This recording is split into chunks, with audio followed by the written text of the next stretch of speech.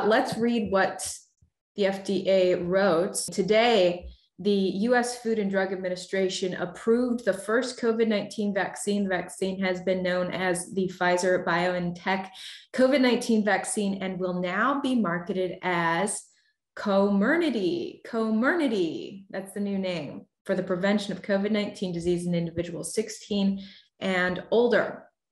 I wanted to show you a study of the vaccine, a, a large phase one, two, three study sponsored by BioNTech and Pfizer.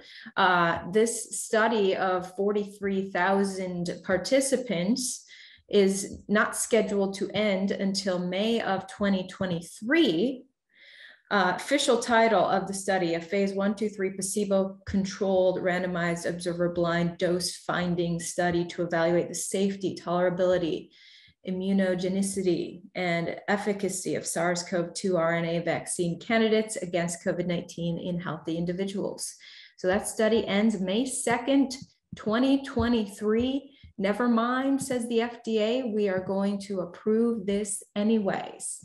So the FDA says they feel quite confident that this uh, vaccine is uh, 91% effective against COVID. So let's get into what the FDA said. Uh, they had a small press conference on YouTube via audio only today. So let's listen to some of that press conference. The vaccine is clearly effective in, presenting, in preventing hospitalization and death, but may not always prevent infections, symptoms of transmission of the virus, uh, from person to person uh, either. All right, that is Peter Marks, the director for the Center for Biologics Evaluation and Research at the FDA. He was asked about the latest data that is showing a declining effectiveness of the vaccine against the Delta variant. There's various real world evidence that are emerging here um, that suggests that the vaccine um, is still effective against the Delta variant. Obviously, as, as you probably uh, are, are, alluding to here, that uh, data coming out of Israel seems to suggest that with time, uh, immunity from uh, the vaccine does tend to wane. Uh, and so that's something we'll be following closely and obviously will be uh, leading into consideration of the thoughts regarding boosters, et cetera, as we move into the fall. Israel was one of the first nations to really push the vaccine on their population, got about 85% of their population vaccinated. So a lot of people in the world have been watching Israel to see how effective the vaccine is there. Uh, and it was it was all Pfizer there, and the Pfizer vaccine showed an incredible decline in effectiveness. I got into that in my previous YouTube video if you want to check that out. But uh, yeah, not looking good in Israel. and he talked a little bit about that. But also today, the FDA got into risk factors. Myocarditis is still a prominent risk that they are talking about today and announcing that they've approved it. They, they're saying we've approved the vaccine, but myocarditis could still happen. Myocarditis is inflammation around the heart, uh, which leads to scarring and then an enlarged heart. In some cases, death. In fact, I interviewed a dad whose son died of an enlarged heart days after taking the Pfizer shot. I'm working on editing that story now. Been having some editing issues as I move and transition, but going to get that story out very soon on my website, ivoryhecker.com take a listen to what the FDA said about uh, this myocarditis warning today. It's determined that the data demonstrates increased risk, particularly within seven days following the second dose. The observed risk is higher among males under 40 years of age compared to females and older males. The observed risk is highest in males aged 12 through 17 years of age, and available data from short term follow up suggests that most individual symptoms have now resolved uh, after the occurrence of uh, myocarditis. So the FDA today was pretty clear that they feel confident about this vaccine, but it is still being studied. This vaccine is still being studied. It is still very new, and there are things they genuinely don't know about. We'll continue to closely monitor the vaccine safety to ensure that any potential concerns uh, continue to be identified and evaluated in a timely manner. The FDA is requiring the company to conduct post-marketing studies to further assess the risks of myocarditis and pericarditis following vaccination with Comirnaty, including an evaluation of long-term outcomes. And one thing they still do not have a lot of answers on is what these vaccines do to pregnant women and the babies that they're carrying after that baby's born, they're going to be monitoring babies whose mothers have been vaccinated. Uh, additional post-marketing safety studies, including conducting a pregnancy registry to study and evaluate pregnancy and infant outcomes after vaccination during pregnancy. The FDA said that the free sharing of information is an issue to them. One of the biggest challenges that we still face in getting the public vaccinated and that's the overwhelming amount of information that's been circulating about COVID 19 uh, vaccines. We've heard false claims that COVID 19 vaccines cause infertility, contain microchips, and cause COVID 19. And worse, we've heard false claims that thousands of people have died from the vaccine. Let me be clear these claims are simply not true. I get that rumors form, but you're saying that it is not true that thousands of people have died after vaccination. The FDA literally just said that is not true.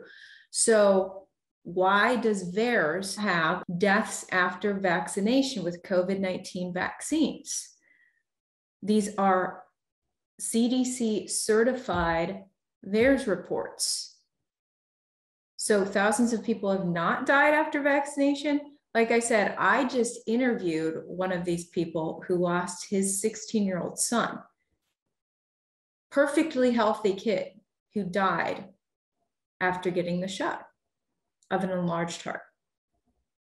And this man didn't even file a VAERS report. So who knows how many people are out there who didn't file VAERS reports who, who had tragic deaths like this. Large organizations may start implementing vaccine mandates now that the Pfizer vaccine has full FDA approval. CNN pretty excited about the news today. That this full approval would give the cover to these organizations, universities, that they needed to actually impose a vaccine mandate. And that's what we're starting to see. They also strategized on ways to make the vaccine mandates enforceable across state lines.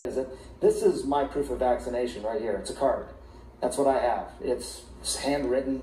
That's basically all it is. There is no federal database for this, this system. States are required to do it, but the states aren't talking to one another, ensuring vaccination status. That's probably going to have to be part of this, uh, this discussion as well if we're going to mandate vaccines and require proof of vaccination. And finally, Jen Psaki says she does expect there will be more vaccine mandates now that Pfizer is FDA approved? I expect there will be more, sure, as we've said all along. Um, and I would note that my colleagues at the Department of Defense conveyed that they would move in the coming days to mandate the vaccine now that the approval has come from the FDA for Pfizer. So we certainly expect there will be more uh, mandates uh, for factions of federal employees. FDA approval of a brand new mRNA vaccine never done on humans was rushed through at a time when there is no permanent FDA commissioner. And someone brought that up today uh, to Press Secretary Jen Psaki.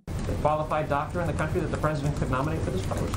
I can assure you, I wish I had a nominee for the FDA commissioner standing behind that door so uh, that I could present them to all of you. And it is a very good question. All of this news today is really troubling to a lot of Americans who do not want to be vaccinated.